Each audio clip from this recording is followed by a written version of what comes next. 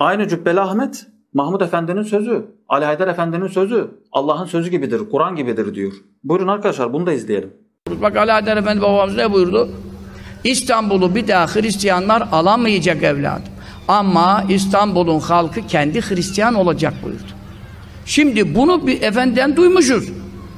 Bunu ayet hadis neyse Ali Haydar Efendi sözü odur. Mahmud Efendi Hazretleri'nin sözü odur yani bizim için. ما لكم ما لكم لا ترجون لله وقارا. ما لكم لا ترجون لله وقارا. وقد خلقكم